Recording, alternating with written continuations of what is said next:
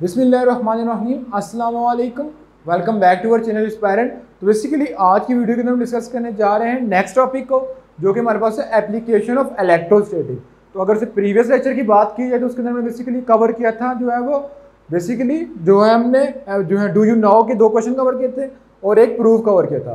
तो आज की वीडियो के अंदर हम एप्लीकेशन कवर करने जा रहे हैं। तो बेसिकली अगर देखा जाए तो इलेक्ट्रोस्टैटिक की तीन एप्लीकेशन है। कौन कौन सी? फ़ोटो कॉपियर लेज़र प्रिंटर और इंजेक्ट प्रिंटर। तो आज की वीडियो के अंदर हम बेसिकली जो है फ़ोटो कॉपियर को डील करेंगे। तो आ जाते हैं स्क्रीन पे और देखते हैं कि what is a photo copier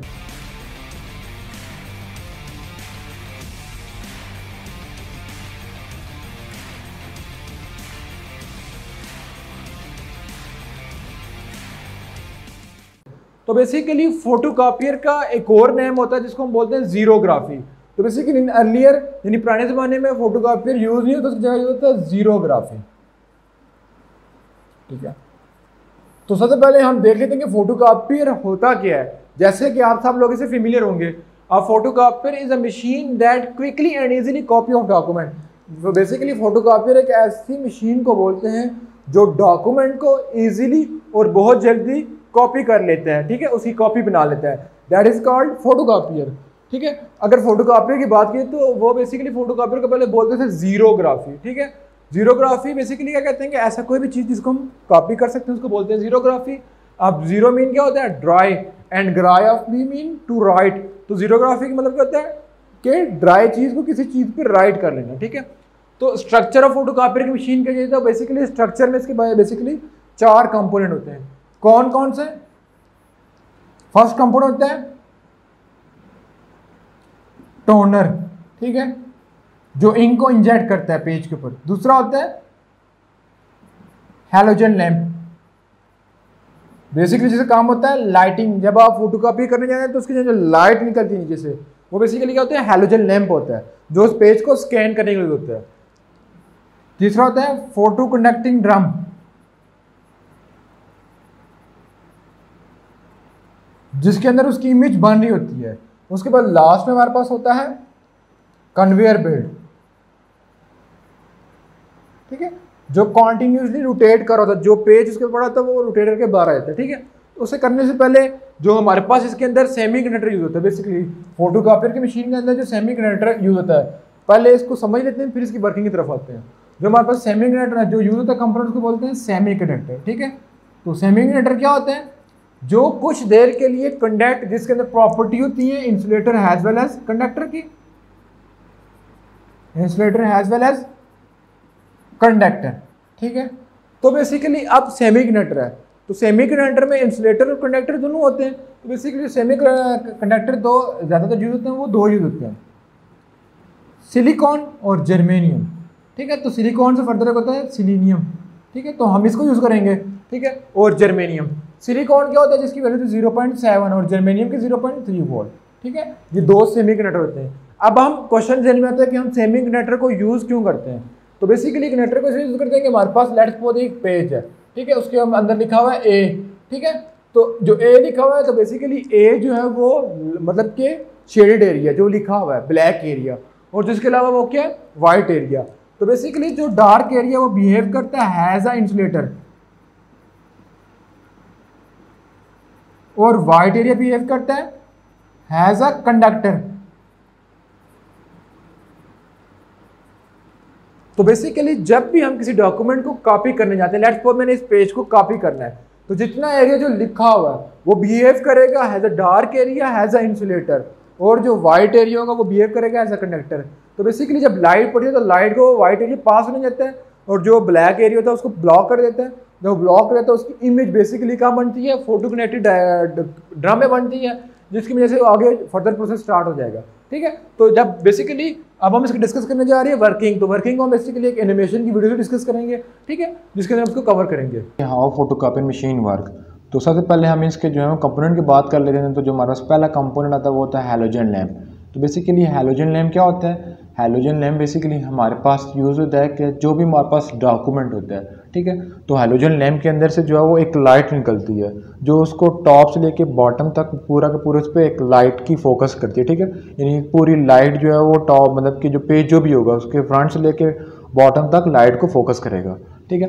फिर जो नेक्स्ट पार्ट होता है बेसिकली जो है वो हमारे पास होता है फ़ोटो ड्रम फ़ोटो ड्रम के साथ ही हमारे पास बेसिकली एक टोनर होता है ठीक है? जो जिसके अंदर बेसिकली टोनर होता है, जिसके अंदर इंक इंजेक्ट की होती है, ठीक है? जो इंक को हमारे पेपर के ऊपर इंजेक्ट करता है। फिर लास्ट में हमारे पास होता है कन्वेयर बेल्ट ठीक है? जिसके ऊपर पेपर रोटेट करके हमारे पास बार प्रिंटेड आउट फॉर्म में आता है। ठीक है? ये से कंपोनेंट हो गए। अब उसकी वर्किंग की तरफ़ आते हैं। तो बेसिकली जो भी हमें डॉक्यूमेंट जो भी कॉपी करना है, ठीक है? सबसे पहले उस डॉक्यूमेंट को ले लेंगे, ठीक है? उसके बाद हम उस डॉक्यूमेंट को जो है फोटोकॉपी मशीन का, जो पेपर होगा ग्लास का पेपर होगा, उसके ऊपर हम रख देंगे उस डॉक्यूमेंट को, जिस फॉर्म को हमने प्रिंट करना है, ठीक है? उस ग्लास के ऊपर रख दिया हमने, ठीक है? उसके बाद जो हमारे पास बेसिकली क्या होगा? उसके बाद जो नेक्स्ट स्टेप है कि हम क्या करेंगे कि स्टार्ट का बटन क्लिक कर देंगे, ठीक है? तो हम उसके बटन को स्टार्ट कर देंगे जो जो ही स्टार्ट पे क्लिक करेंगे तो जो ही हमारे पास हेलोजन लैंप होगा। वो बेसिकली टॉप से लेके, जैसे कि आपको शो भी हो रहा होगा कि वो टॉप से लेके बॉटम तक जो है वो तमाम पेपर को स्कैन करेगा। ठीक है? जो स्कैन कर लेगा स्कैन करने के बाद सेंड कर देगा किस पे? उसको सेंड कर देगा बेसिकली जो है वो फ़ोटो सेंसिटिव ड्रम पे। ठीक है? तो फ़ोटो सेंसिटिव ड्रम पे जो ही वो सेंड होगा तो जो ही फ़ोटो सेंसिटिव ड्रम पे वो सेंड होगा तो हमारे पास एक मैजिक जनरेट होगा। क्या मैजिक जनरेट होगा? कि हमारे पास जो फ़ोटो सेंसिटिव ड्रम है, उसके अंदर मेटल के रोलर होते हैं। ठीक है?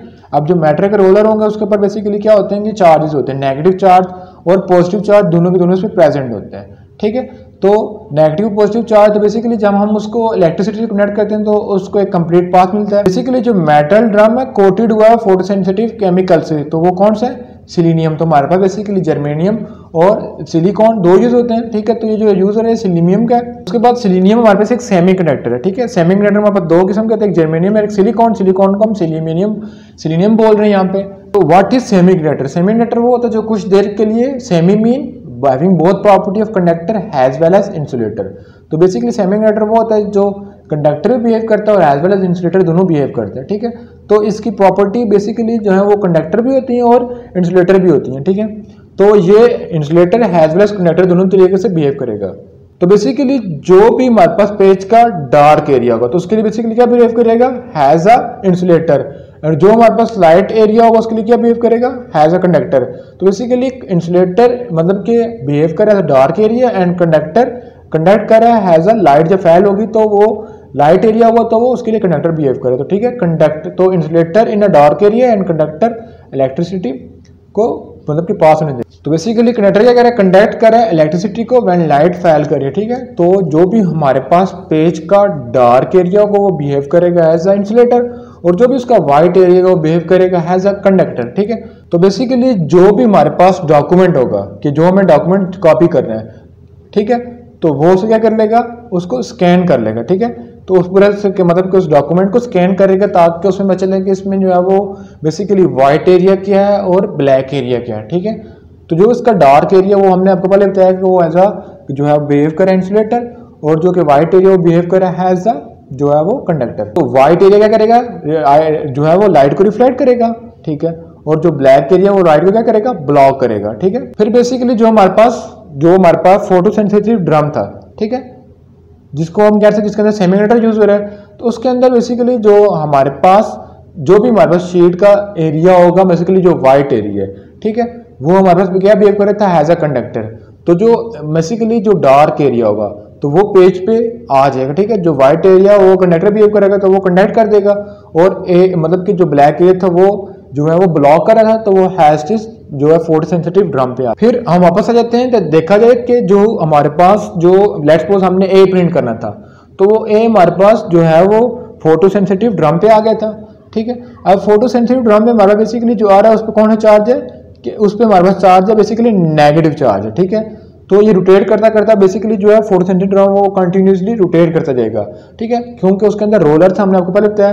तो जो ही वो टोनर के करीब आएगा तो टोनर के ऊपर होगा प्लस चार्ज ठीक है? और जो वहाँ पे चार्ज था वो क्या था? नेगेटिव ठीक है?